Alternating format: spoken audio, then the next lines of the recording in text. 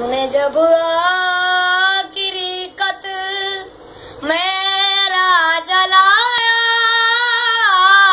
होगा और तूने जब भूल किताबों से निकाले होंगे। देने वाला भी तुझे याद